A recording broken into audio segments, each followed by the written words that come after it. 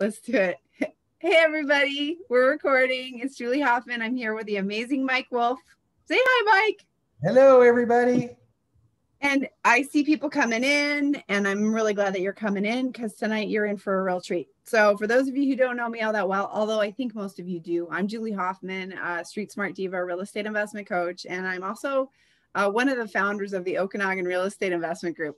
And um, we get to talk about why would a person, why would a Canadian want to ever invest in the United States? Like there, we, we hear about it. There's seminars that come through town. Um, there's all kinds of, of, of, of uh, events and programs out there and available. But let's talk to a Canadian who's done it and who actually trains Canadians on how to do it. That really, really speaks to me. So, um, funny story back in, I think it was June, um, I got an email from this guy who I'd been kind of stalking online on Facebook, Mike Wolf. And I thought, huh, why is he emailing me? and he had, I, I, think he has a team member named Julie that's kind of like mine. Uh, and they were setting up a, a an event, an, a meeting. And I emailed it back. I said, hey, listen, hi there uh, I uh, we don't we haven't met yet, but I don't think I'm supposed to get this email. And he emailed me back and he said, actually, I've been thinking about emailing you, so this is good. And I'm like, I think it's good too. And and we just uh, so we set up a meeting, we booked right away, and then um, we we started having a conversation about about the training that he does. Why invest in in the United States uh, from a Canadian's perspective? And um, I said, well, I'd love to have you out to to the Okanagan Real Estate Investment Group, OREG. Okay. And he said, Well, tell me when to be there and I'll be there. And I said, Well, we're having a networking event this, this like next uh, Thursday, I think it was. He's like, I'll come out for that. I'm like, What? He's like, Yeah, I really like Kelowna. I think we'd come out. I'm like, Okay. And he did. He showed up at this party. He was at Wes Rosso's house. We, you know, it was a rooftop uh, OREG event, and it was before, you know, we all got uh, told that we can't talk to each other anymore in person. And um, it was just amazing. I was like wow who is this guy that's who's willing to just uh, kind of drop everything and make the trip out to the okanagan valley? I know the okanagan valley is a great place. We are just talking about how lovable it is but it, it takes a special person to make that extra effort. So of course that impressed me. Um, and uh, i was i remember speaking you know, he's the more I talked to him, the, the more I knew he, he wanted, I wanted him to talk to my people. And so thank you to all of you who are here. And now I've been, I've spoken at big events. And the last time I spoke at a big event, um, I had to go on after this guy who had, who was talking, who was selling a big course and he was dialed into his presentation. And I'm telling you, he had the whitest teeth I'd ever seen and by the end, and I had to go on after this guy. By the end of his presentation, which ran 45 minutes over time, by the way, the people that were signing up for it were marching around behind him with their credit cards raised in the air, so excited to take this course. It, from an American about, uh, I think it was on tax deeds or something like that. I remember what it was. But I remember thinking, I have to go on now. This is crazy. And it was really unfair to me, but I'm mostly just telling that story because it was funny because I bombed. I didn't sell anything because I think he got everybody and he did a great job. And I hope people learned from him, but I know for sure he was not, um, he just wasn't Canadian. Um, so you're going to learn a lot tonight from Mike. Mike, oh, also, there are going to be some bonuses. I have created something that I know for a fact works. Okay, I'm going to tell you a little bit about how it works, but hopefully that what what'll do it'll help set you up for success with Mike. I know it will. I know it can, and um, we're excited to share with you what what Mike has to offer. So this is going to be kind of like a Q and A. I've prepared some questions. If you have questions, I just need you to type them into the chat. All right and um, if you're watching this recording, uh, there's probably a way for you to reach out to Mike and, and get some questions answered if, if things don't get covered in tonight's event. but it's going to be kind of it's going to be kind of casual. And I think that some of the um, questions that I have are likely questions that you also have. And it's kind of funny because I am from the United States. I was born and raised in Denver, Colorado. I met my husband in Mexico, who's Canadian, and blah blah blah. It's a whole big story. Um, but I I've never owned property in the United States.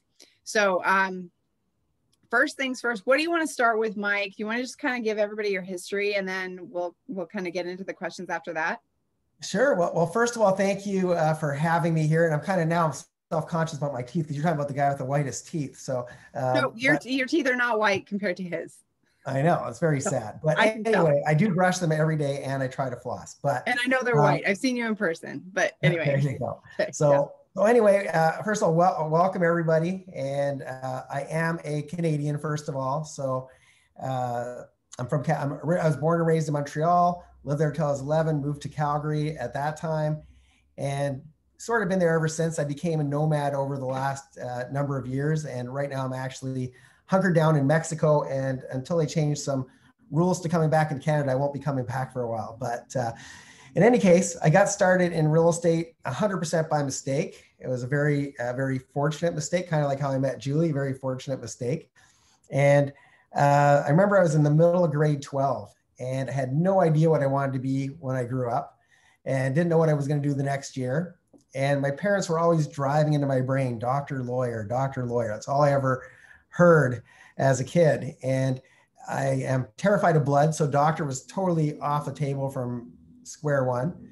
But uh, lawyer sounded kind of cool because I, you know, you see those movies on TV and the lawyers are in their fancy offices, and thought maybe that look it looks very exciting, uh, at least in theory. And so went to University of Calgary, got my first degree. U of C, there's no pre-law program, so I got my degree in psychology, and with that came a whole bunch of student loans. By the time I graduated uh, in 1989 from U of C, I had $25,000 in student loans, which to me seemed like an insurmountable amount of money that I would never be able to pay off in my entire lifetime. And so I thought before I go back and get my second degree, I'm going to get these things paid off. And I had a, uh, a good friend.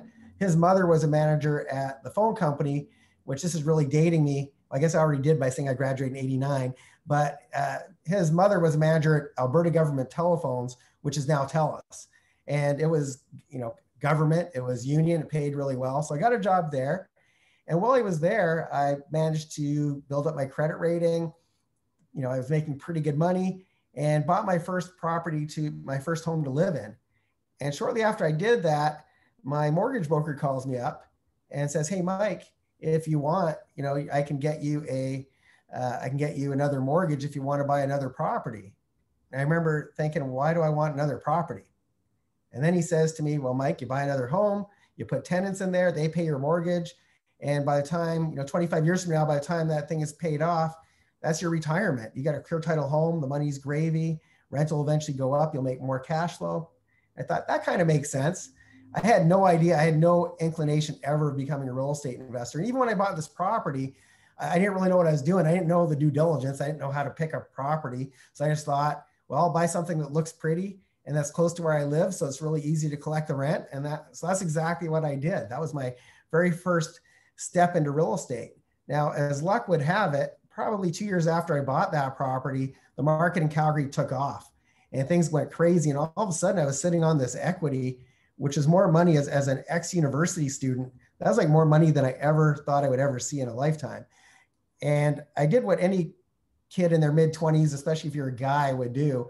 And I just thought I, you know, my ego got the best of me and I thought I knew everything there was no about real estate investing. So I promptly went and told my parents that I'm not going to be a lawyer. I'm not going back to get my second degree. I am now a real estate investor. I quit my job at the phone company, not really thinking that now I can't get any mortgages anymore. And uh, my ego really got the best of me. And uh, I wish I could say that everything after that went was just like that first deal where everything was just amazing. And every time I bought a property, it shot up in value. Um, so I went from buying that first property, which was meant to be a 25 year hold. That's how that's how my mortgage broker described it. To now not having a job. I had some money in the bank, but I didn't want to wait two years for my next big paycheck. So I had to figure out how am I going to make my next paycheck.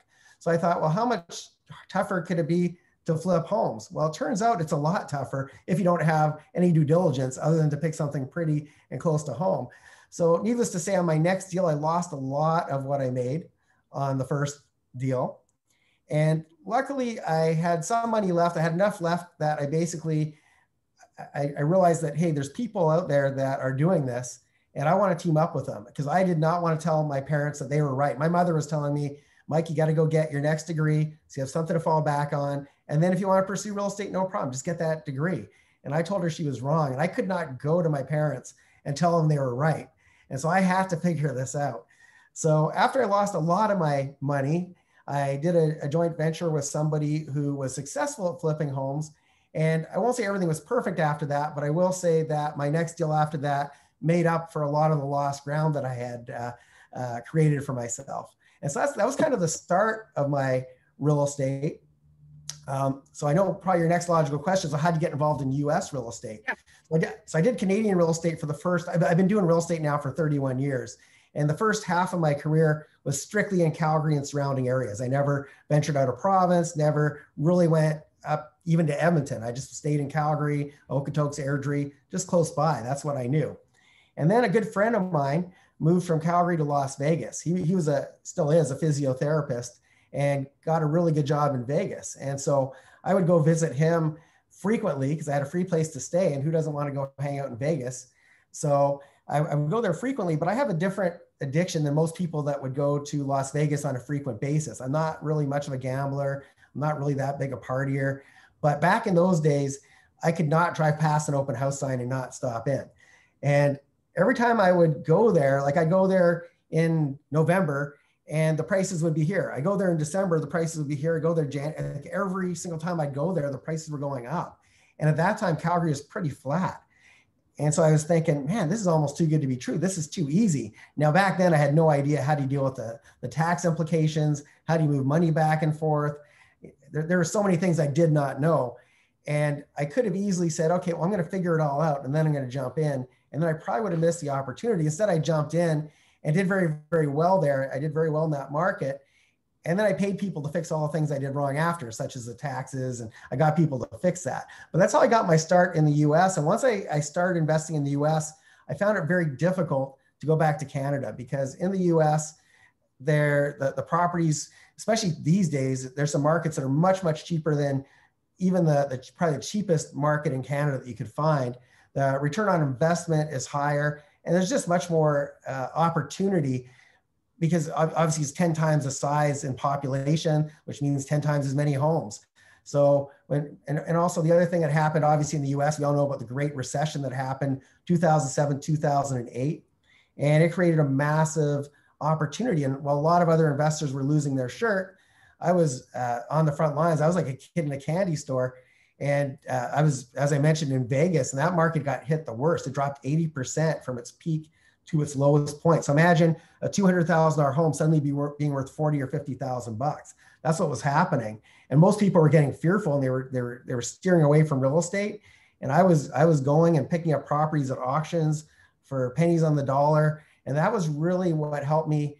It really took my career to a whole new level because when you're buying homes for 50 grand as opposed to, I know in, in Kelowna, what probably average house, 600,000 maybe Am I right? More? Want to know? Do you want to know the average sale price last month? I'm actually month? scared to ask. I'm scared. Well, you are sitting down. The average sale price of a single family home just last month was a million dollars. Seriously, I didn't know Kelowna was that much now. So you guys are up there with Vancouver almost. In that month, that just so you know. Wow. So, but we are we are talking. I think it's uh, late I think it's around 750, eight. It's it's so here, really something. It's something. Well, yeah, the average in Calgary is probably 450, 500, and a home that in Calgary is 500,000. In Atlanta, which is my favorite market, and I actually sell turnkey properties there, mostly to Canadians. A home that's 500 grand in Calgary would be maybe 125,000 in Atlanta, Georgia, which is a city of 5 million people. Calgary's a little bit over a million. It's five times the size tons of jobs being created, and the homes are a fifth of the price. So, I mean, it's just a no brainer. So, I'm not saying you can't make money in Canada, you absolutely can. Uh, however, the barrier to entry. If, if maybe you're, you're sitting there and you're, you're thinking, oh, I wish I had more money. I can't, I can't get into a market that's a million bucks. Well, in the U.S., you can, and uh, you know, I, I was able to buy a lot more properties than I ever could have if I would have stayed in Canada. And so that's how I got started in real estate. That's how I got started in the US. And it's been, you know, 15 years of investing in the US now. And I've been through that, uh, you know, that great recession, did very, very well. I, I, started off in Vegas and I started to invest in, uh, I, I, made a lot of money in Vegas. Then it started, that market started to get competitive and saturated. I took my money, went to Phoenix, repeated it. I've done stuff in Florida. Uh, now I'm very big in Atlanta. We've done Kansas City, a lot of Texas. So I've done a lot of stuff in a lot of different places. So I really want to just come here and you know answer as many questions as possible. And especially I, I know what it's like to be a Canadian trying to work on the other side of the border. It's tough enough to do stuff close to home. And when you go across a border, it adds a whole level of complexity with trying to build teams and get people to show up. It's hard to get people to show up in the city you live in when you're there waiting for them, let alone when you're not there. So uh, so I know a lot of you have a lot of questions. I know, Julie, you have questions, and I want to make it about you guys. This isn't about me. I want to make this as meaningful uh, for you as possible and give you the, a Canadian's perspective. Because one of the challenges is I've seen a lot of Americans try to teach how Canadians can invest in the US, and they assume we're exactly the same. They assume that if we do the exact same things they do, we're going to get the exact same result. And nothing can be further from the truth, especially with the taxes. So a lot of Americans will come up to Canada and they'll say, oh, just get an LLC, which is a limited liability corporation. An LLC is really, really good for Americans. It's horrible for Canadians. Because, and I'll just go over it really quickly. An LLC is what's called a pass-through entity. And what that means is your LLC doesn't pay tax for you. The money flows through to somewhere else. And if all you have is that LLC, the only place it can flow through to is you.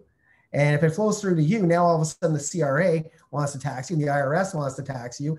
And now you're going to get deal with things such as double taxation, withholding taxes. So that's why I really love to speak to other Canadians because if you listen to what the most Americans will teach you, they don't take the time to learn the nuances that us Canadians have to deal with. They just want to sell you into some sort of uh, some sort of class, take your money, and then they don't care what really happens to you after. So I like to clarify uh, as much as possible. So uh, so I'm an open book. You guys can ask me absolutely anything, and I'm happy to answer it. And like I said, I have a lot of experience in a lot of different markets and a lot of different strategies, everything from tax deeds to, to flipping to wholesaling.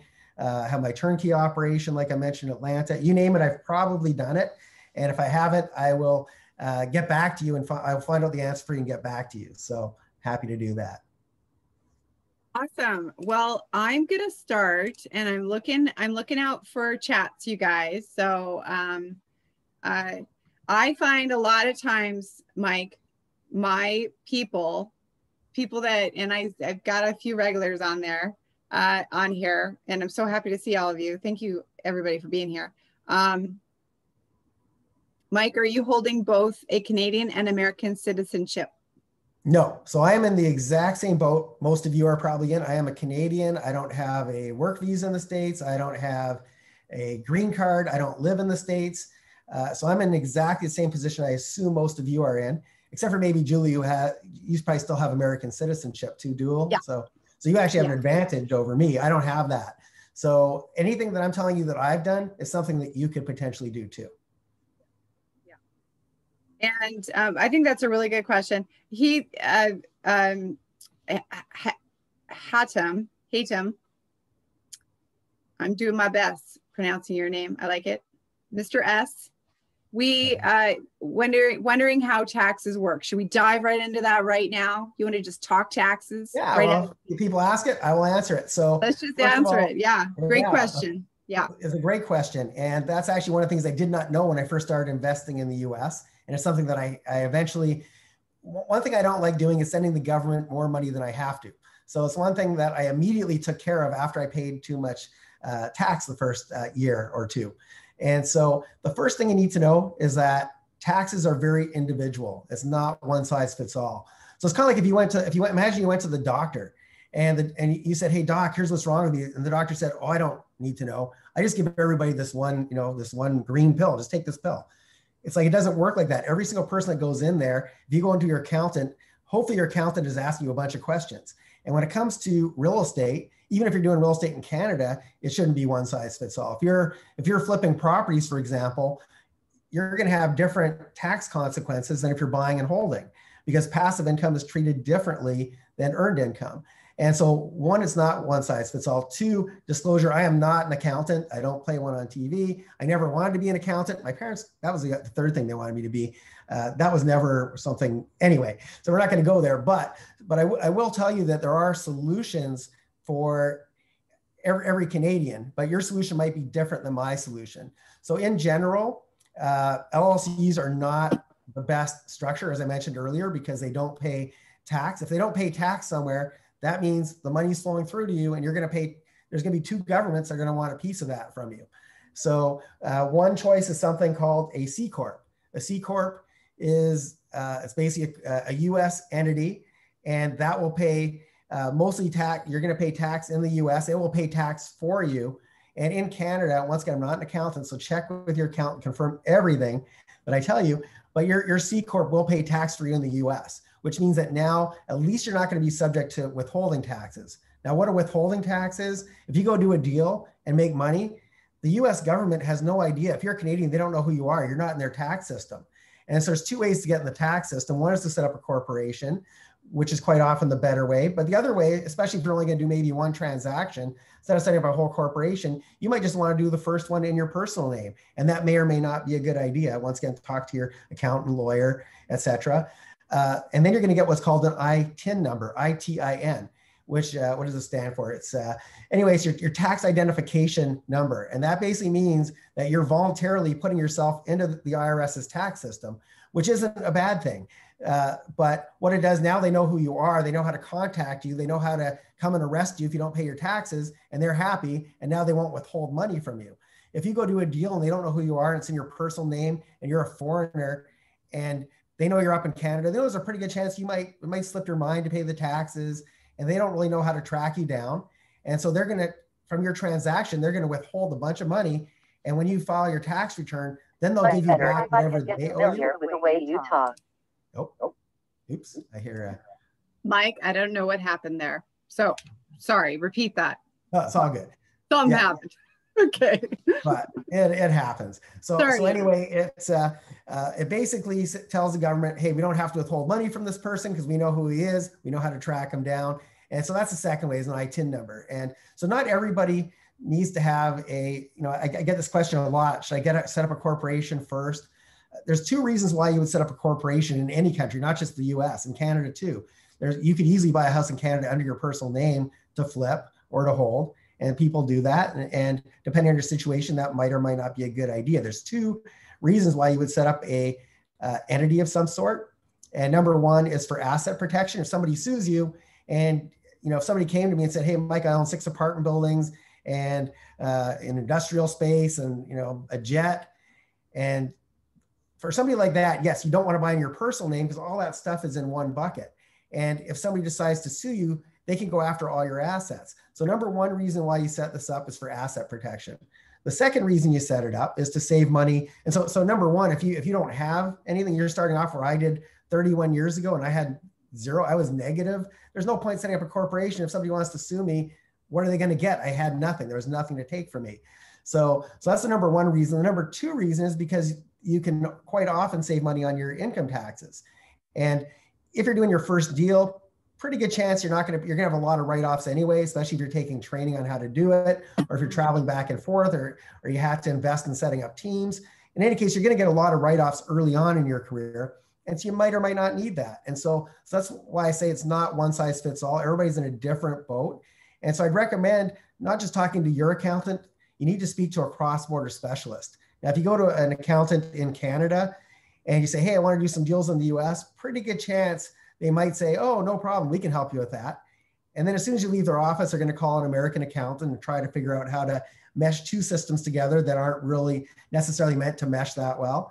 Uh, if you go to an American accountant, they're going to do the exact same thing. They're going to call up a Canadian accountant and try to compare notes and figure it out.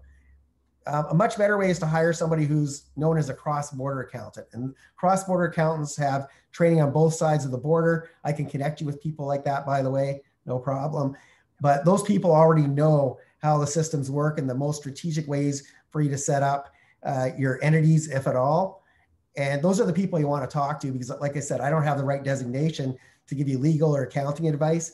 But I will tell you that the, the tax part is a, the biggest hurdle for a lot of Canadians, and it shouldn't be because it's easily solvable and it doesn't have to be solved by you. You just have to get the right person on your team, have a couple of quick phone calls, and then you're, you're in the game.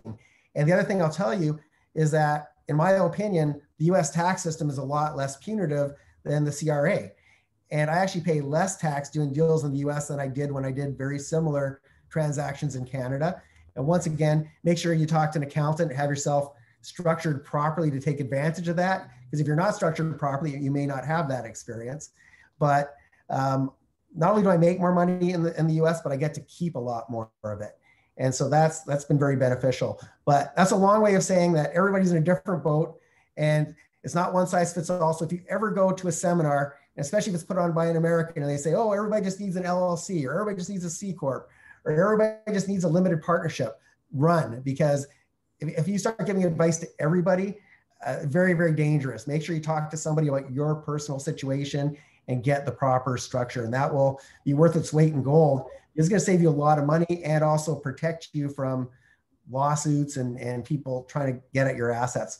Although I've never had that happen, by the way. And none of the investors that I know, you know, we a lot of these lawyers, no offense if there's any lawyers on here, but a lot of these lawyers like to sell you these really fancy three-tier structures. I don't know personally anybody who's been sued. And I've been doing real estate for a long time. So I'm not saying just totally ignore it but also don't there's a lot of people that say, oh, the US is so litigious. Well, yeah, if you're Walmart or Starbucks, somebody's going to sue you if they spill coffee on themselves because they know these companies have very deep pockets and they will pay to settle out of court. Uh, people don't normally, at least in my experience, sue their landlords or sue the person they bought the home from. I, ha- I haven't seen a lot of that. Not, none for me, none for my friends. So don't also don't get suckered into spending a hundred thousand dollars because you're worried you're going to get sued. It doesn't have to be that fancy. So that's my advice as a non lawyer, non accountant.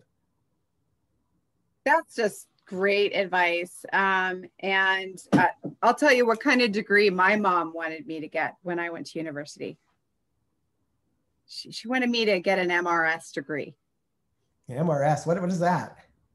She wanted me to find a husband who was oh. preferably a doctor or a lawyer or a or an accountant. Well, if I would have stayed in school, I would have been your target audience. So, but luckily I quit. And now you found your your special husband. So that's good. Yes. And um, oh, she was horrified, but that's a whole other webinar. she didn't want me moving to Canada. It's all okay. It all ended up working out okay. Anyway, um, so we have we have more questions. I I'm not going to use mine. Well, actually, I will. I'll use one of them because we've talked about it already. Um, I remember learning about Nevada corporations. And um, I remember this was a long time ago, so you know, excuse my ignorance if if it, this is what's happening. But um, because because taxes are different in Nevada, we were recommended to start a Nevada corporation if we were going to go down and start doing tax deeds or or tax liens. Which, by the way, we could talk about this too. They seem easier tax liens, tax deeds seem easier in the US than what I've seen and heard about experiencing in Canada. So I guess it's kind of a two part question. What's the deal with this Nevada corporation stuff? Is it mumbo jumbo or is it for real? Yeah, well, um, there's three. If you were to talk to an accountant, and I recommend that you all do, if you were to talk to an accountant and say, hey, all things being equal, where should I set up my corporation? Depending on who you talk to, they're probably going to tell you Nevada, Delaware, or Wyoming. Those are the three places that are most uh, tax advantaged and also give you the most uh, asset protection. And so if you think about Las Vegas, who set up Las Vegas back in the days? It was a mobster, right? It was a, it was it was the uh, the mob. And so who do you think would really want their anonymity protected with their assets? N- nobody more than than gangsters would want their to be protected from from you know people trying to come after all the stuff that they were uh, collecting, such as you know property and casinos and, and whatever. So yeah, so Nevada is known to have very favorable uh, laws in favor of asset protection, which is why people pick there. Uh, Wyoming, uh, similar, not because of the mob, but they just have very very good uh, asset protection. Both of them are, are really good in terms of having relatively low uh, tax rates. And Delaware, uh, from what I understand, once again as a non-accountant, but Delaware seems to be really good for really big corporations. Not so much, I think, for us as small investors. So I don't really hear too too many uh, too many real estate investors that are being put into Delaware. But if you're a Walmart, you want to be in, in Delaware apparently. So it's really good for protection for big companies. Um, now the, the other side of it is let's say you were doing one of my favorite strategies, and I know you mentioned auctions, so I'll talk about that really quickly, and then we'll go in more detail in a minute. But one of my favorite places to do auctions is in Houston, Texas, and they have something there called tax deeds. And a tax deed is when somebody hasn't paid their property taxes in a number of years, the county needs that money to keep their schools open and pay for their police force and their hospitals. They need that cash, and it's got to come from somewhere. And in Texas, they have no state income tax. So instead, it comes from property tax. The property taxes are very high. And a lot of properties end up on the auction block because of that. So if you're doing all your investing in a place like Texas and your corporation is in Nevada, at some point, the state government may say, hey, well, you know, you're, you're buying, you're doing an awful lot of work here. Are, are you sure you're really a Nevada corporation? And so sometimes that'll get challenged. And sometimes you have to just register with the Secretary of State other times you have to set up an individual corporation there. So once again, that's the importance of talking to somebody who specializes in this because you may set up something that's really advantaged and then invest somewhere else and they may not allow what you've done. And so once again, always talk to your uh, your accountants and your, your lawyers and get uh, but in general those those are the best places uh, all things being equal if you can, if you can set up there i'm actually structured in nevada myself uh, so in general, that is good advice. But once again, don't just say, "Hey, well, Mike and Julie were talking about Nevada. I'm going to go set up in Nevada." Talk to your, no. uh, talk to the right people first with the right de- right letters after their name, uh, like MRS or whatever, or CPA or whatever it is. But talk to those right people that are trained in the thing that you need to know. It's worth to invest a little bit of extra money up front before you jump in than to try to set up something and then have to disband it later and set up something different later. So, so that'd be my advice. Now, second part of your question was uh, auctions in the US compared to Canada. And I can tell you that there is way more, the, the biggest difference is really not, not just the, the quantity, the, the difference goes back to the fact that in Canada we have CMHC and CMHC basically tells the banks that if you foreclose on a property, you have to try to get market value for it. Now, as a homeowner in Canada, I'm grateful for that because if my home's worth a million dollars and the one next to me all of a sudden is foreclosed on and they sell it for half a million, well, now that's created a new comparable on my block. And now my home, because of that home, has just gone down half a million bucks, just like that, one second. And so as a homeowner, I'm very, very grateful they don't do that. In the States, it's not like that. The banks can do whatever they want and they can sell a property for whatever they need to to recover their, their, their money. Now, as an investor, I'm not happy about that. As a homeowner, I'm happy. As an investor, I'm not happy because there's very little inventory. And when, when a home goes in foreclosure in Canada, it's not usually a good deal anymore. The bank is selling it at market value. It ever goes to an auction, there's so few auctions and so few properties that in my experience, they end up going for market value, sometimes more than market value anyways. Now in, in Canada, if I was going to work strictly in Canada, how you make your money? You go after pre foreclosure. You go after the homes before the bank has taken it back, negotiate with the homeowner. That's how you do a deal. In the US, we have the advantage we can go after pre foreclosure and we can go after the foreclosures because the banks are willing to negotiate. They're willing to do things like short sales, which means they're willing to cut down the amount of that mortgage in order to get it sold sometimes. And there, and there's some of the advantages, some of the reasons why I love investing in the US. It just opens up more opportunities. And so uh, there, there's auctions all over the US that take place regularly. I've had clients, uh, you know, one of the things that I did pre COVID is I did live trainings in Houston, Texas. We'd spend four days together. I take people to the auctions. And I had one of my students pick up, just as an example, a home for 7,200 bucks worth probably 90 to $100,000. Now that isn't even a down payment on a shed, probably anywhere in Canada. I don't know of anywhere in Canada where that would even be a down payment. I just I just saw a shed for sale. what, what was the down payment? It was it's around 72. I'm telling you, you, telling you, man, it's it's high here. I know, I know it. And so, you know, it's yeah. it's a it's uh there's these auctions normally when there's no COVID, they take place every single month. And like in, in Texas, the first Tuesday of every month, there's these tax deed auctions. And there's some phenomenal deals. Now, for those of you listening, don't just go uh, jump in. Do not go to the auction until you know what you're doing because there's a lot of good deals. There's also a lot of really bad deals. And I've also seen a lot of people lose a lot of money. Now, one of the things you need to know is in theory, the mortgages are supposed to disappear off these properties. So if you pay 7,200 bucks, that's it. You get the home clear title, it's free and clear, no liens on it.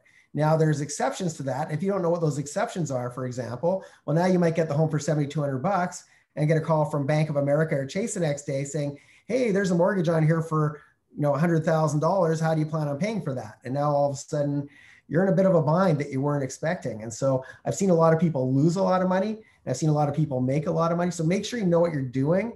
But the, bo- the bottom line is uh, when you go to these auctions and you know what you're doing, there's there's some great opportunity there that does not exist anywhere in Canada that I'm aware of. So I, I, don't know every market in Canada. So forgive me if you live somewhere and, and you've seen a great auction, but I don't know of any of my uh, investor friends that have made money at an auction in Canada.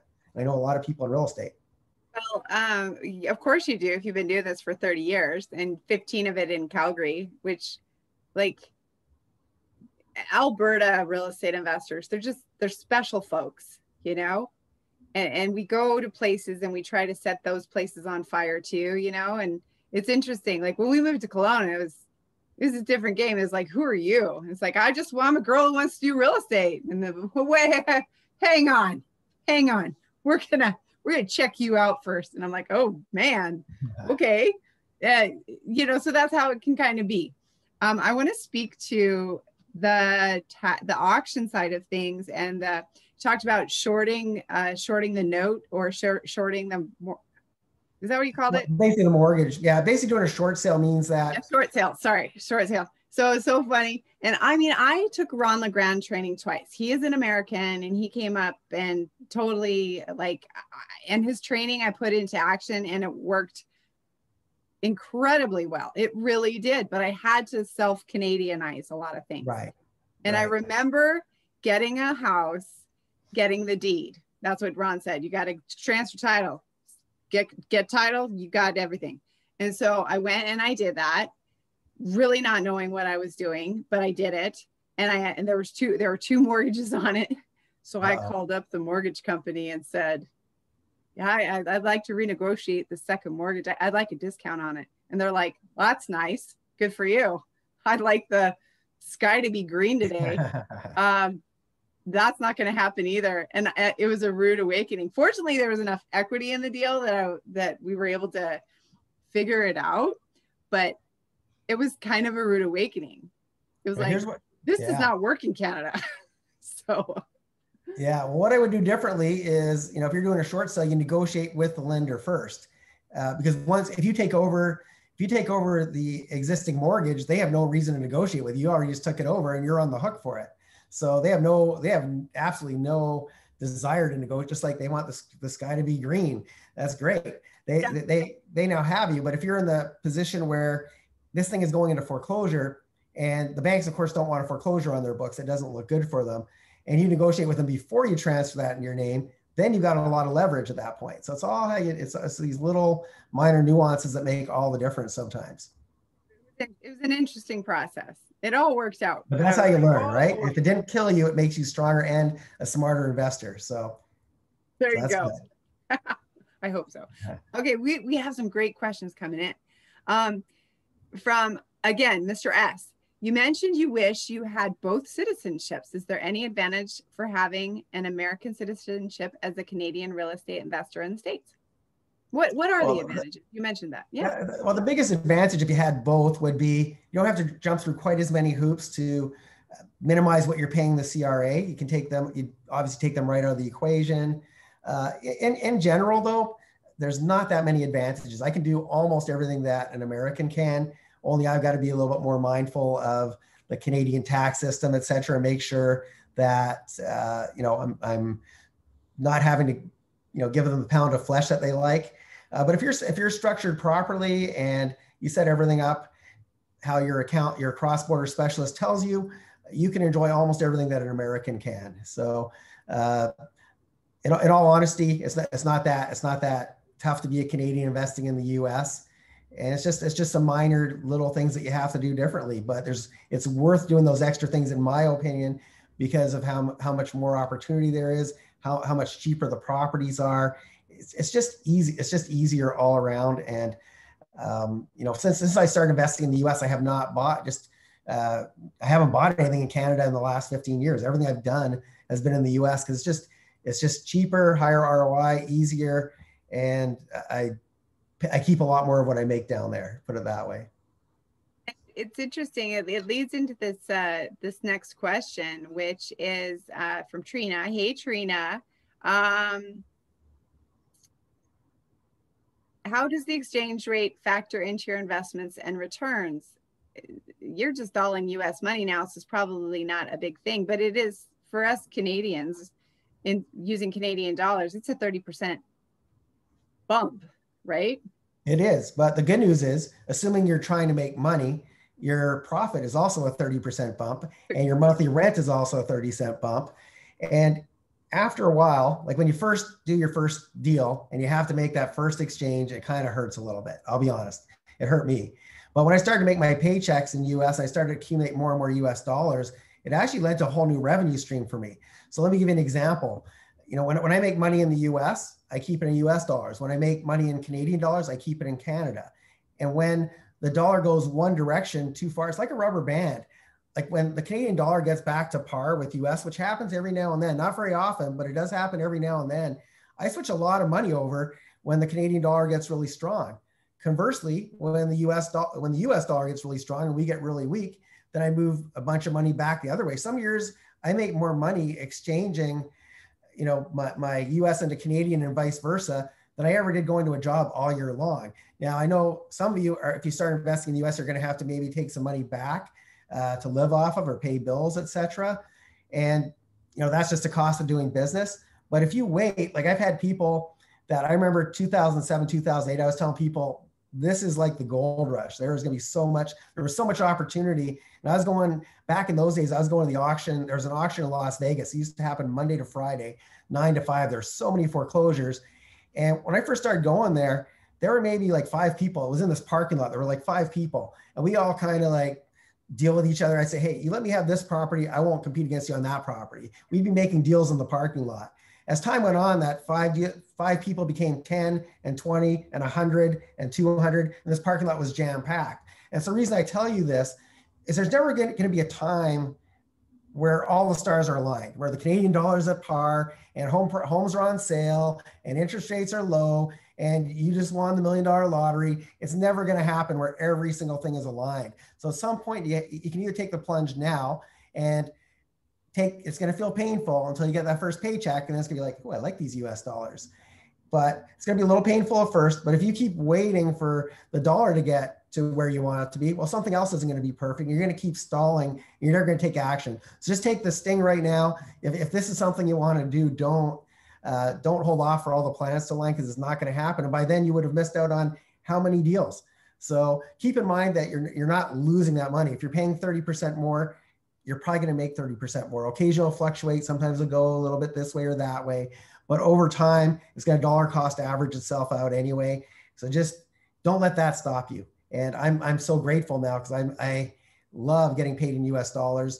And I especially love whenever I come back to Canada and I go to a restaurant, the prices are the same as in US restaurants. So I order something that's 10 bucks, but I'm putting it on my US credit card, it's like seven bucks. So I love it.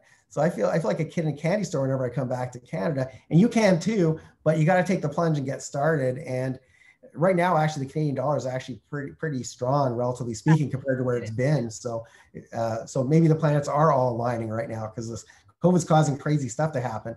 But uh, yeah, the first time you do it, there's no way around it. You're going to have to have U.S. dollars, simple as that.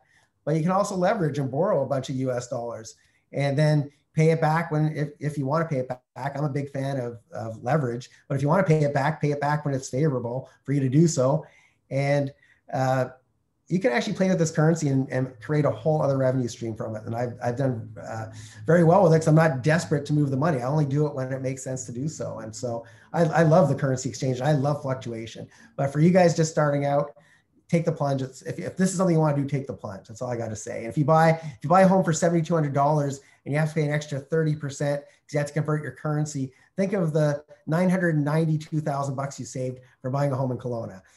That that'll that'll take the sting out of it for sure. Hey, how does that? Hey, sound? I know. That I'm being, was cold. I'm being mean. I'm being mean now, but I'm just being real. Like when I whenever I go back to Calgary, and and it's not as expensive as Kelowna or Vancouver, but it's still pretty expensive it's like why are people paying these prices like i can't i i, I have a hard time understanding it because you know once you get used to these numbers in in uh, a lot of the markets that i work in like i, I would never pay that again I, I am just going to be if i move back to calgary I, I still own a property that i've got renters in but if i ever bought another property to live in i wouldn't i'm just i'm going to rent and uh like the economy is so bad and people are still paying those prices. Where's that? Anyway, don't even get me on that tangent. I'm going to drop it. Well, that's a whole other webinar. It just that is. is a whole well, other webinar. The fact of the matter is, anybody that's listening to this or here tonight, it's because they are looking for options because they feel the same way that you do, right? And that's why we did this. It's because, okay, I, I I can't find something that I think will work in my backyard. Maybe this is an option and this is why we're here. And, you know, I just believe it's going to cost either way. You know, just like, just like people will pay for a, a, a university degree, go into student debt in order to get a degree and spend four years of their life, most of it probably partying, and to get a, you know, to get a degree, um, why wouldn't you spend some time and resources and take some you know it's again it's going to cost you the way. It's going to be opportunity costs. It could be money out of your pocket but wouldn't you rather learn something that yeah you can do over and over and over and over again? That's just the way i see it and that's how i that's how i feel about real estate in general. And i like the canadian market. I like some aspects of it. I definitely do. But that leads into some really good we're getting great questions by the way from yeah these are all great questions. Absolutely. You mentioned though, you talked a little bit about leverage. So I always am curious do Canadians always have to come down and plunk out cash for all these deals? And or how does financing work for Canadian residents and citizens investing in the US? What's what's that all about? All right, so I'm going to give you some different options. Uh, the, the first one is uh, basically taking equity out of what you already have in Canada borrowing, borrowing against your property, doing a HELOC, etc., getting lines of credit, uh, things like that. That's your first and probably cheapest uh, path to getting cash. Uh, your second best option, there's several Canadian banks that have US subsidiaries, and I personally like RBC. Uh, we, we sell a lot of our turnkey properties to Canadians in Atlanta, and we've used RBC many, many times. And they will base their decision on your Canadian credit score. Uh, the they don't care that you don't have a social security number in the States. They don't care that you have any credit. They don't care that you don't have any credit in the States. They just care about your your history back home here in Canada. And I believe TD does similar in Bank of Montreal, but RBC is the one that I've personally had the most luck with. So that's definitely another option. When times are good, there's banks in the US that will lend to Canadians too and other foreign nationals right now my experiences are pretty tight usually when things are bad like when there's covid and when they're you know we have a minor pandemic going around or uh, major uh, recession they sometimes tighten up their purse strings a little bit and they cut off some of the programs but when things are good they'll actually loan to foreign nationals right now i don't personally know of any us lenders that are doing that but i, I would start off with our uh, well first like i said try to get a heloc or other money on if you have some equity at home do that because that's cheap, cheap, cheap money.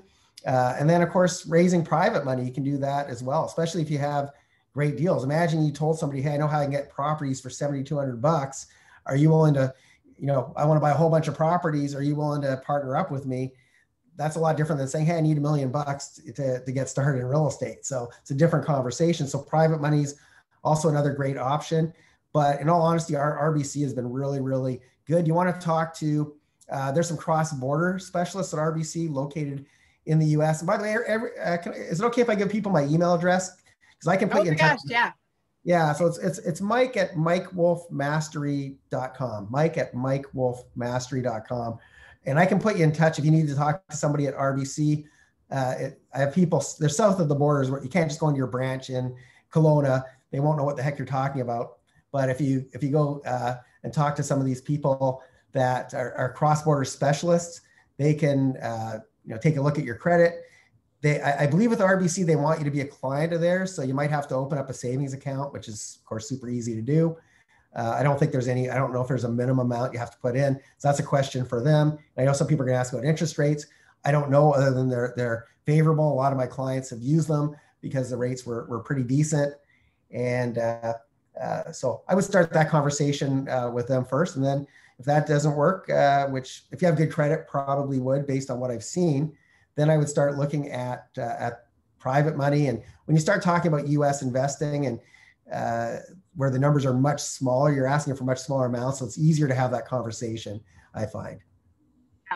Yeah. Yeah. Um, okay. It totally answers my question. I yeah, BMO and TD I know are down there. I know that they are. Yeah. Uh, so uh, I think it's TD Waterhouse that's down there, and um, BMO Harris is, if I'm not if I'm not mistaken, eh, which I very well could be because Mike is the expert here. No, I th- you're, you're, you're correct. And I think okay. some of them only lend in certain states. So depending where you want to invest, you might have to talk to some different lenders. I know in Atlanta we've used uh, RBC with great success. I haven't I haven't used TD or Bank of Montreal personally, so I can't speak from experience on that, but uh, I know they lend in certain parts of the US as well. Okay, perfect. So, um, any property deals in Florida? We are being asked by AJ. Thanks for the question, AJ. What do you think Hi, about AJ. Florida, um, Mike? Yeah, well, just like every city has deals, so it depends on how you define deals. Um, if you're looking to buy and hold, that ship kind of already sailed in some ways. The prices have gone up considerably, but the rents haven't if you're looking to flip, you can flip absolutely anywhere if you if you have the right connections. Start you know searching for deals or, or, or doing the right uh, you know steps to attract uh, to attract sellers. Uh, but if, if you're looking for good return on investment, I'd, I'd recommend like I, I, personally love Atlanta. You want you want markets. Actually, let me give you a clue as to what I see happening here with this COVID uh, stuff that's going on.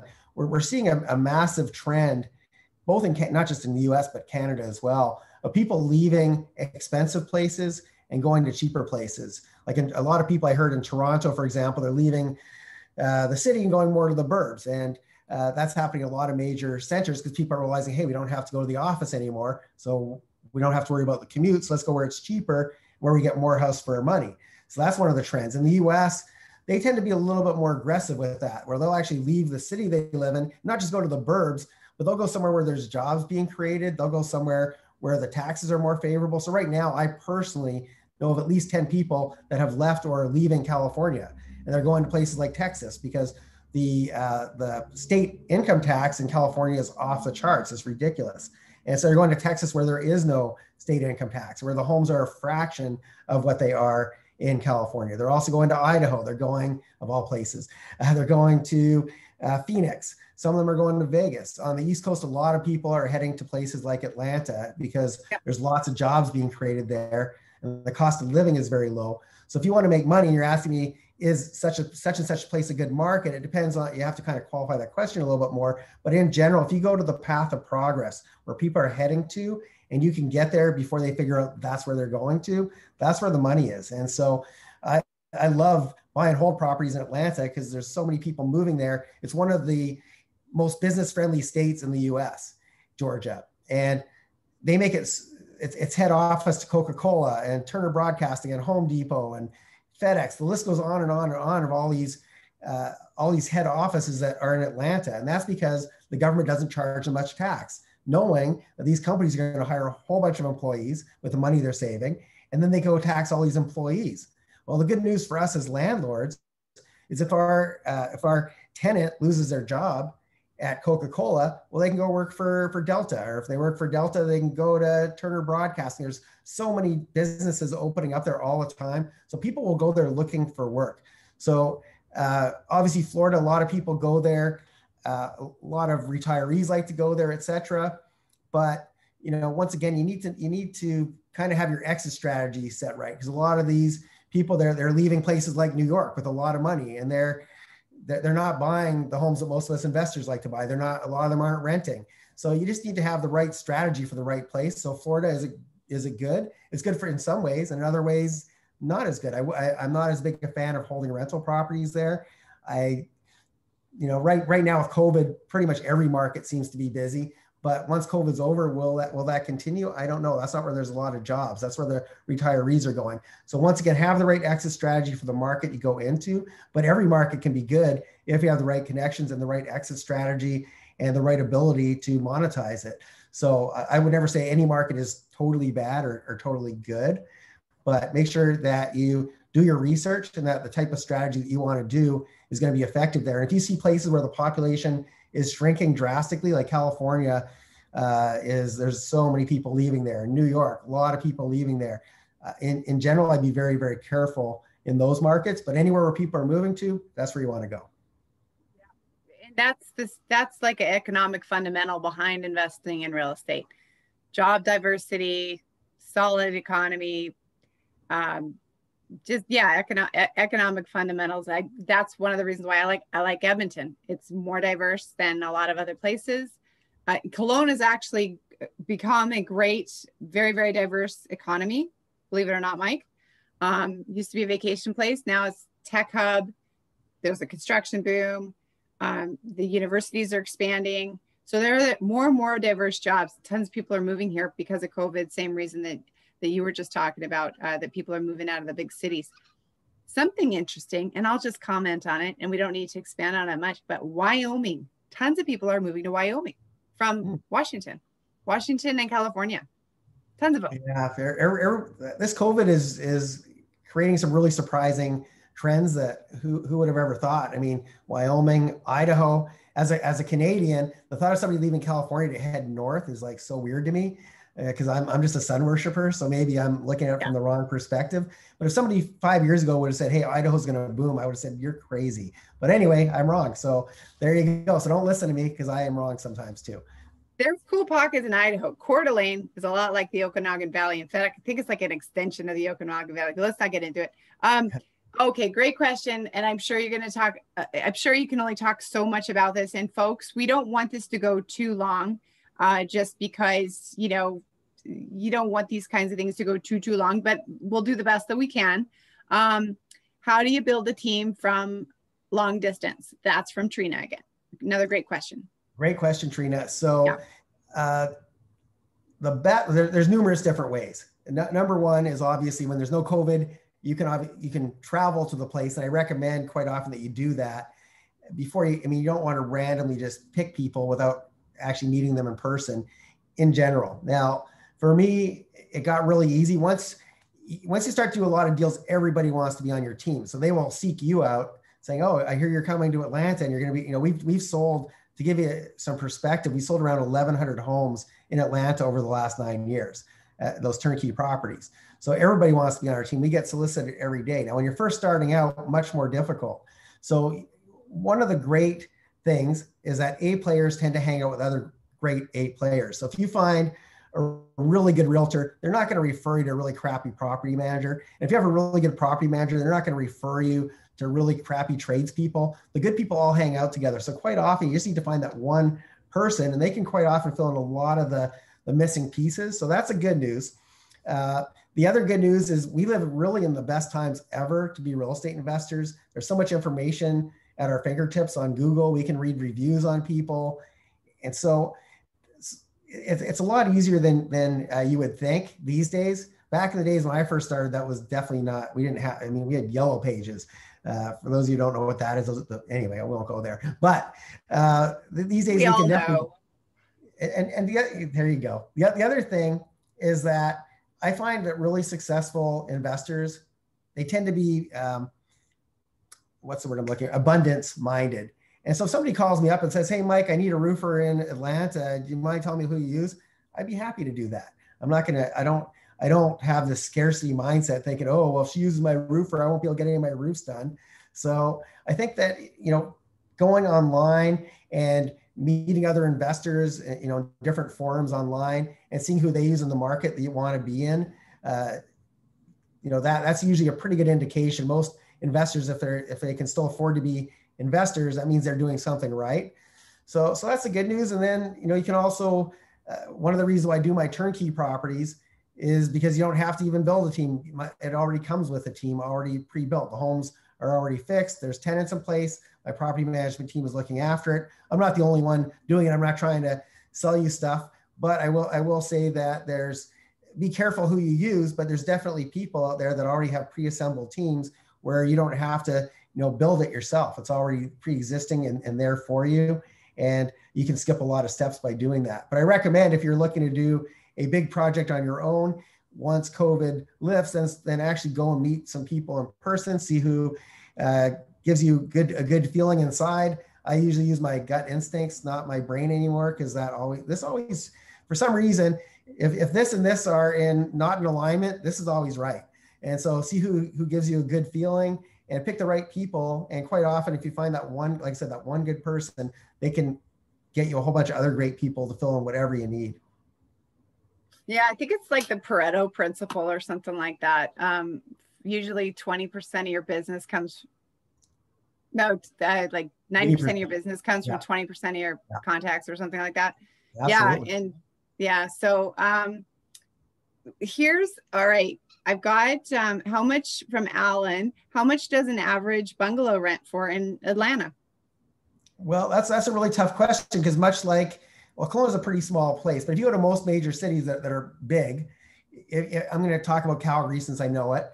If you were to go, I don't know how many are, are familiar with Calgary, but if you go to Mount yeah, Royal, well, which, uh, talk about uh, Calgary or Edmonton, it would be fine. Yeah, so, yeah, yeah. So if you, we'll put it this way, every every city has this really nice areas, and every especially in the states, every city has the war zone. In Canada, we don't really get the war zones. We have some not as pleasant neighborhoods, but nothing compared to what you see in the U.S. So when we talk average, uh, it, it's it's very hard to answer that question. But I'll tell you that our, our average property that I resell already fixed up is probably around $150,000. And they start as low as $80,000. This is all US, this is all single family homes. And, you know, an average, it's just so hard to say what an average bungalow uh, would would rent for because it, it varies so much by community. So instead of average, I'd I just say on on average, our, our properties in Atlanta they net after property management fees and taxes and insurance, et cetera. Our, our clients are netting around seven percent per year, so 100,000 should net you around 7,000 after your expenses. But the really big win is in the appreciation. When you have a city like that, like to me, the thought of an $80,000 home fixed up in a major city with 5 million people in a half decent neighborhood for 80,000 bucks. I feel like I've gone back to 1960. I wasn't even born then, 1961. I was born in 65. I feel like I was, I'm one year old looking at real estate prices, but I know what's going to happen. It's like I've read the book. I know the end of this story. There's going to be no such thing as an $80,000 home not that many years from now. There shouldn't be like that. That to me is like if, if I, if I went to fill up my car with gas and it was like 12 cents a liter, it's like, what? I feel like I've gone back in time. So when we're looking at a city where there's lots of jobs being created and lots of people moving there, to me, there's only one thing that's going to happen. And that that market like that, the rent is going to continue to go up, the prices are going to continue to go up. And as more and more people start to realize, hey, why are and people are waking up in California now, that's why they're all leaving They say, why are we we're sitting on these properties? They didn't a lot of them didn't pay what they're what they're selling for now. It's like we could sell our home and live happily ever after somewhere else and not have to worry about working and not have to worry about all the things that we used to worry about. We can have a really good life if we just sell this thing. We could buy an even nicer home in this other market, have a nicer place, and not have any payments. And so people sometimes wake up and say, hey, this is a really good deal. Why are we renting when we could be owning? And I don't even think I'm answering the, the original question, but I get excited. And oh, eventually these markets go up. That's all I'm saying. So Alan's, Alan's a smart guy. He knows how to he knows what I'm saying. I, I, everybody, he can reverse engineer all those numbers you just talked about. I know he can. There smart you go. Cookie. Y'all, y'all on here are very smart people. I know that. Well, first of all, because you're here. All right. So there's one, I think we're going to have this be the last question because I know that Mike wants to uh, share with you an opportunity to spend three days with him and you all get a discount and it's pretty exciting. And um, full disclosure, if you all buy, he's going to give some of it to me. And if you all buy the big thing, he's also going to give some of it to me. And, and if you don't um, buy, Julie knows where you all live. So she's going to show well, up on your doorstep. No, no, no, I won't. But um, it's just okay for us to talk about that. Mike and I were talking about that before we started today. I want to help him. I want to help all of you. And I don't mind getting some help back. And I just think the more that people uh, feel that way, it's just like the roofer. Like I'm gonna, I want to, I, I want to help you, and I don't mind getting help back. And there's, and we live in an abundant world, and I hope this helps with each and every one of your abundance. So just wanted to be full disclosure right there. Eh, but the question, the great question is, um, can you? And I, I think I know the answer, but are you able to to use registered funds from Canada, like RSPs, TFSAs, LIRAs, in the US? I wish and I could I say yes. I wish that was the case, but I'd be lying. You um, cannot. However, let's say you had equity in, in a property you owned in Canada. You could borrow somebody else's RSP money or LIRA and uh, register it against your property, then use that money for anything you like, including US investing. So, so that's one answer. The other answer is you can do what I did. And back when Vegas, when I first started in Vegas, it was such a tremendous opportunity. And I didn't just want to sell every single one of my Canadian properties. So I actually cashed in my RSPs and I paid the tax on it. And once again, sometimes things sting for a few minutes, but then I've turned over that money over and over and over again. I made a lot of money and a lot more than it ever would have made sitting in an RSP with such in Canada we have such limited options, unfortunately. And it makes me sad that you know I can invest in GICs which don't keep up with inflation, and that's considered safe. Uh, but and I can invest in mutual funds. Don't even, I'm not going to go there. I'm not going to go down that rabbit hole. But that's another uh, webinar. Yeah. But we can't. Yeah, but we can't invest in real estate with our money, even in, in Canada. I mean, there's ways to do it, but it's tricky. So so the answer is no, you cannot. But once I started investing in states, I just liquidated that money. I paid the tax you're not really paying it. It was deferred because at one point I saved money by putting the money in there, and then I have to pay it back. And then I took that money and I've, I've used. I, I can't even tell you how much money I've made by not having it in my RSPs. And uh, so that's the, the other way to do it. But in general, no, you can't keep it registered and buy U.S. real estate with it, unfortunately. Well, it's like the concept of seed money. That's what a seed is. You bury it in the ground, becomes a tree, and then the apples fall down and more seeds happen, and then more trees come up, and on and on and on and on and on. So, yeah, you kind of, if you can think of it that way, then I hope that helps. Um, all right, we've run out of amazing questions. Thank you, everybody, for your participation. I didn't even hardly use any of mine. I sent you a whole bunch, right, Mike? yeah, you, you, had a, I know you had a bunch of them, and and I'm of course I, I'm happy to answer. If anybody had any questions that didn't get covered today, shoot me an email. I'm happy to answer each and every question. I want you to uh, have all the all the proper information in case this is something you're looking to do. I'm happy to help you with it. Yeah, so I've put Mike's email in the chat. Anybody watching this recording, it's somewhere around here. It's in this email, it's in this post. If you can't find it, then reach out to find me and I will I will totally help you. Um, the other thing that I put into the chat are some offers that uh, Mike's going to talk about. One of them I know is free, and then at the and then um, I also am going to share something with you as well that that's an extra special bonus if you ask me. Um, and Mike called it brilliant, so that's big. Um, uh, Mike, why don't you just get right into your three day? Let's talk about that. What people are going to get out of it. I'm sure it's going to be amazing, and I want to know more. So let's get into that.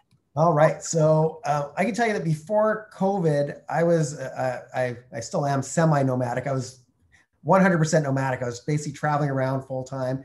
My teams do almost every, everything. My rental properties are managed by other people. I don't deal with them ever, nothing. I don't get calls. It's all handled for me.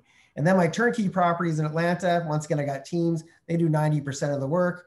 It's my money, my systems, my teams, but it's very little of my time. And I used to do one or two events a year. I do live events. I take people to Houston, Texas, for example. I teach them how to do tax deeds over four days. And then when the four days would end, I would hop on an airplane and go somewhere tropical, kind of like where I am now. This is my happy place, the sun and the sand. And then COVID hit, and I actually went back to Calgary for seven months, which is the longest that I've uh, been in Canada for probably six years now. And the first couple weeks I was back there, I was like super lazy because I had no flights to catch and nothing on my agenda. So I was sleeping in and watching Netflix like everybody else.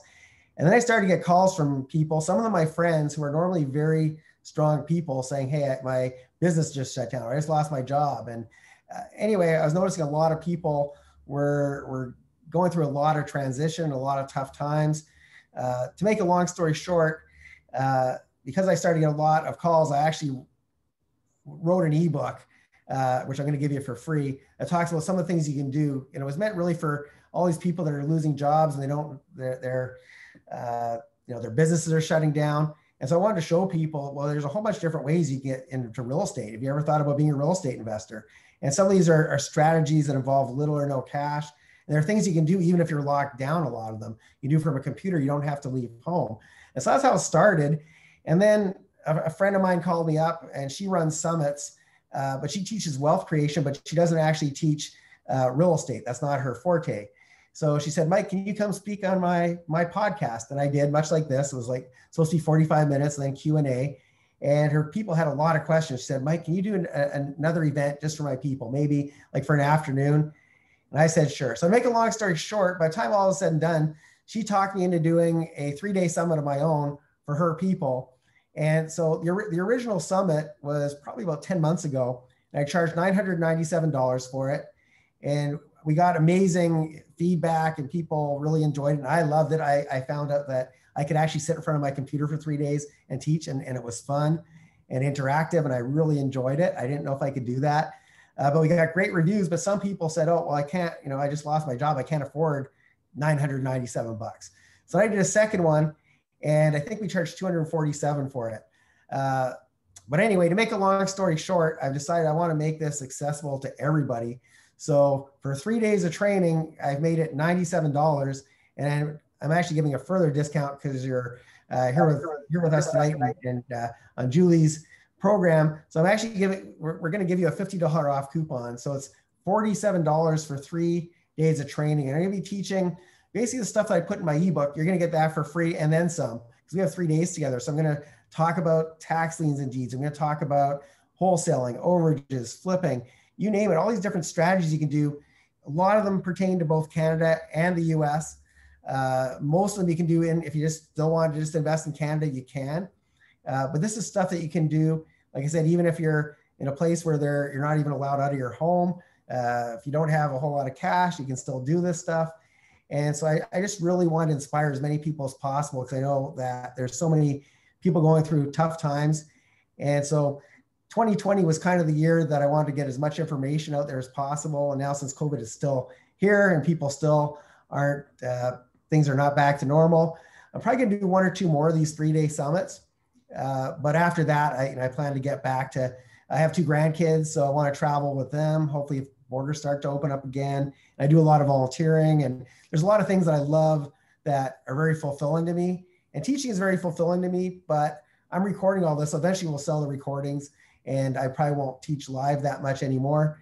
But uh, anyway, for uh, March 12th to 14th, which should be a Friday, Saturday, Sunday, uh, that's that's going to be my next event. I'd love to have you all there. It's 47 bucks, and uh, I'm going to teach you as much as I possibly can over three days, and um, uh, I'd, I'd be honored to have you all there. So that's awesome. Pretty uh, pretty straightforward. Pretty straightforward. I like that there wasn't a huge buildup and you weren't making us all run around for our credit cards and no it's not none of that. I, I want to help people that want my help. I, I am not here to pressure anybody to do anything they don't want yeah. to do. And you know and, and, and also i want i want to make you know there's going to be some americans on the call so it's not going to be all hey if you're canadian here's how you invest in the us but i'm happy to answer all those questions during that or even right you know uh, just send me an email. I'm happy to answer those for you too. But a lot of these strategies go hand in hand. I mean, if you learn, uh, if the things that are stopping you are that you're afraid, oh, how do I deal with the taxes?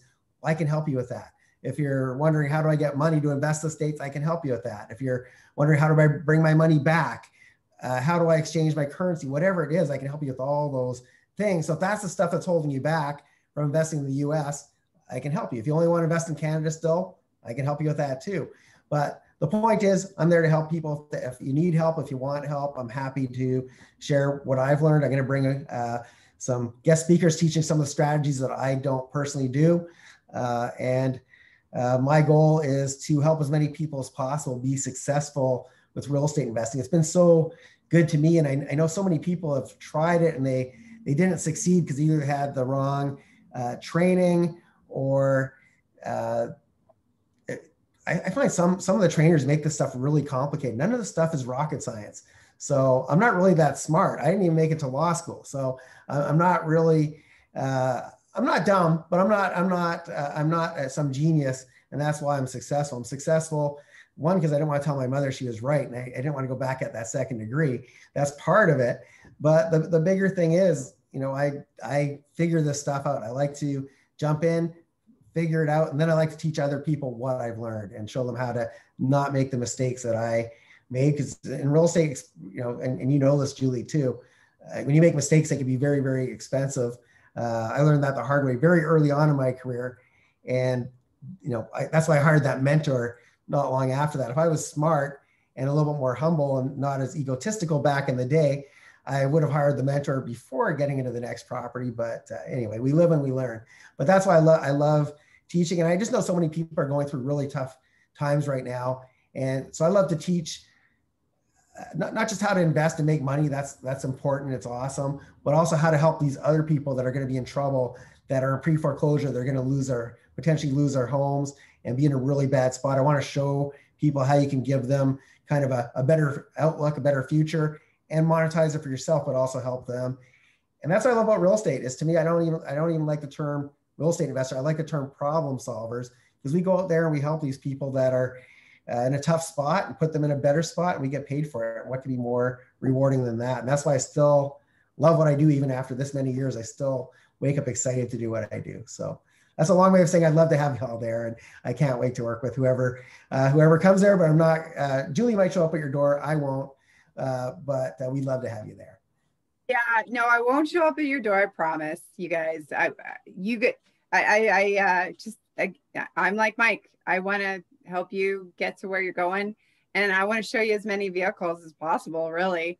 Um, because that's what it's all about. Some people uh, one vehicle works for them and and for some it, i don't know i just can't get the, the darn thing to run you know what i mean so uh, maybe this is it i hope so if not we you know that's okay too um, and, and you know i, I want to answer john's question I did. It was hiding in here. Do you mind if we have one more question here? Yeah, absolutely. Yeah, I'm. I'm. I'm. I've got nothing else to do after this. So it's a really good question because it speaks to the 1031 um, exchanges, which I believe. And let me let me guess and see if this is correct. But there's um uh the 1031 tax exchange where you don't pay taxes on an investment as long as you buy another investment with it. Am I right that that's what that is? Yeah. So the 1031 exchange is in the in the U.S. If you sell uh, an investment and then you invest in a like investment, meaning if you sell uh, a piece of real estate and you want to buy some more real estate with it, you won't pay capital gains tax on it, gets deferred. Now, if you sell a bunch of stocks to buy real estate, you will pay tax. So uh, the 1031 exchange, to answer your, your question, can Canadians do it? Uh, there are ways that Canadians can do it. If you buy in your personal name, you cannot because the US will say, yeah, no problem. You can do the, of course you can do a 1031 exchange. And then you're going to do your tax return in Canada, and the CRA is going to say, oh, well, we don't recognize a 1031 exchange. That's not, we don't have a 1031 exchange. And then even though you didn't pay a dime to the US government, Canada is going to take a whole bunch of that money away from you. So there are there are ways to deal with that and to do it. Uh, you definitely don't want to buy in your personal name. Uh, that kind of goes beyond the scope of how you do it because we'd be here for a long, long time. Yeah. But uh, there's definitely cross-border accountants that can teach you. And also when you're setting up your structure, you want to be mindful of that to make sure you can take advantage of certain things. Uh, so, uh, so the answer is is yes. There are there are ways that Canadians can take advantage of it, but you have to be careful how you purchase it. If you buy in your personal name or anything where CRA uh, eventually uh, gets to the CRA and it shows up on your Canadian tax return, uh, even though the US is happy to let you do it, the uh, Canadian government will not, unfortunately. So basically, strategy and work with your team. Make sure you got the right people on your team advising you to do it the right way. Absolutely. That, that's that's really the key is to have the right people on your team and help. You know, one of the best ways. Uh, I, I think a lot of people say, "Oh, well, that's an expense." That's not an expense. A good a good accountant is saving you more money than what you're paying them a good lawyer is making you more money than what you're paying them. So having the right people on your team is invaluable. Now, having the wrong people on your team, that's going to give you the opposite effect. But having those right people, and that's that's why I love sharing. You know, the people that uh, that I've tested my that I've worked with myself that I know are good and reliable, and uh, I'm happy to I'm happy to share any resources with your with your folks uh, anytime. So awesome, that is so good. And then there was another part to this question where, um, and this is probably an accounting question, I'm going to guess, and you probably won't be able to get into into detail due to too much detail, but how does holding U.S. properties affect estate planning when you want to leave your wealth to your Canadian kids? That's yeah. definitely a cross-border accounting question. Uh, probably. Okay, I'm going to tell you once again that I'm not an accountant, not a lawyer, not a anything. Nope. I'm not but, anything. But, really, but, but, a good question. Like, a, still a good question. It's a great question, but I will tell you my understanding of it. So imagine I had a US corporation that owned my different real estate holdings. And let's say I made my daughter uh, part of that company. She was on that company. Well, the company's not going to die. If I pass away, that company is still going to be in, in existence. If Walmart, uh, if the uh, if John uh, John Walton or whatever his name is, if the Walton dude dies, Walmart's not going to shut down. It's going to continue to exist. So your company will continue to exist. And as long as those assets don't get disposed of, and once again, I'm not a lawyer, I could be totally off on this. My understanding is that if my daughter is, for example, on that corporation, well, she'll just take over the role and we'll continue to do business as usual. I can also tell you that there's different types of trusts where you can make the beneficiary of that trust somebody else and leave it to them. So I believe there's a number of ways to deal with that. I haven't died yet. And so I'm, and I haven't gone to, I didn't go to law school. You guys know that about me. So I didn't make it. But um, my understanding is that there, there are ways around it uh, that are strategic, but definitely check with a an estate planner and lawyer and cross-border accountant and whoever uh, is applicable for what you want to do. And that's my that's my understanding of all, all that uh, legal mumbo jumbo. I think that's a good example, and I, and I know it's definitely helpful for me because I don't even. I, well, no, I I know some about that because my, my my daddy lives in Denver, uh, and and we do this thing, and this is probably morbid, but we call it the drill. And we pretend like he's incapacitated and make sure we know where everything is so that everything can be handled properly. And um, I think it's actually something really smart for people to do, whether yeah. you're Canadian or, or American, as long as you know everybody can kind of handle it emotionally. But let me tell you what, things get real emotional when people pass away. So that's another seminar. I think yeah. we had six side seminars within this Exactly. Webinar. That's right. It's good to cover a lot of bases and a lot of ground. Yeah. It's more fun. It is. It is. So, um, all right, guys, there are links in the chat. It's going to come your way on email as well. You have Mike's email address. Take advantage of this free book, please. Take advantage of the, uh, there's a promo code so that you get $50 off the three day, three whole days with Mike and, and all of the smart people that surround him. That's amazing. And there's one more thing in there, and it's a goodie from me. Uh, what I what I have done is I put together a way for you to raise money from somebody else to in order to take advantage of coaching, in order to take advantage of courses. Because let's just face it, a lot of times there's a financial barrier. You pro- probably none of you have a financial barrier to $50 for three days, but there's going to be another offer because that's how these things work. And it's a great way and it's how mike gets to continue to help people just like each and every one of you. So let's do our best to remove that financial barrier shall we? What i have done is i put together a presentation that you can just copy use put uh, replace my information because i designed it so people could take my coaching and people could sign up for my courses but take the, the PowerPoint, which you're going to get as, and it's for free. All you got, all I need is your email. Um, you're going to get uh, the PowerPoint and you can use it again for Mike stuff. You're going to get an example of how to do the presentation so that you can actually create a win-win with somebody else to help uh, take advantage of the investment in yourself, to take advantage of Mike's uh, bigger, bigger offer that's coming your way. And uh, you're also going to get uh, something that you're going to need anyway if you're going to try to try to do this strategy which is basically raising money from somebody else to help pay for courses and coaching uh, which is a loan agreement. You're going to want to have a proper loan agreement in place. So um, I put a link in there. It's streetsmartdiva.com forward slash cash for coaching or cash for courses. I can't remember what I called it, but it's in the link, or sorry, it's in the chat and it's somewhere on this email if you're watching this email, or it's somewhere on this post if you're watching this post. And if you can't find it, just message me. I will get it to you. Okay. Because um, just like what Mike's doing by, you know, making something that was once a thousand dollars, now basically 50 bucks. Uh, and he offered me to offer it to you guys, by the way, this is how generous he is for like a dollar. And I, you know, the more you, the more you pay, the more you pay attention. And um, even if it means you're using somebody else's money to do that. So um, take advantage of this offer. And I hope that uh, uh, the, it's called the deal partner presentation for coaching. I hope that helps you. I really, really do. I know that it works because I, I did this um, at an event to help pay for a course, course that we put on. And one guy actually came forward. He said, if anybody wants me to help them pay for their coaching, I'm smart. I like making money. I'll be their deal partner. And we got 10 people paid for the course by using this strategy. So it definitely works and it's definitely a win-win. It's a lot of fun. So I hope you get a lot of out of that.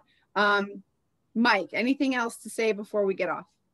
Yeah, I just want to say, well, first of all, thank you so much for having me, and thanks for all. You have great. Uh, the audience had great questions, so I want to thank them for that. And uh, make sure I don't know if you noticed, but Julie also put a link to my free ebook that talks yeah. about some of the strategies you can do right now. So go check that out for sure. Yep. And uh, it's absolutely free. And uh, if you for some reason you can't make it to my three day, at least read the ebook. That'll at least give you uh, hopefully a little bit of inspiration. And uh, once again, my uh, if you're friends of Julie, my uh, the channels are open to me too. If you have any questions anytime, uh, feel free to reach out. You have my email address, so shoot me an email. Let me know what you're if you're stuck with something. I'm more than happy to help you. Awesome. Thanks a lot, Mike. I really appreciate it. I know everybody else does too. We had almost everybody stay on to the very end. So I know couple of people probably just had to hop off, hop off because they thought it maybe be done earlier. But hey, it was such great information. They'll probably listen to the recording. Um, thanks again for your generosity. And thank you, each and every one of you, for either listening or being here. And uh, we'll see everybody next time. Bye bye. Thanks so much. See you later, everyone.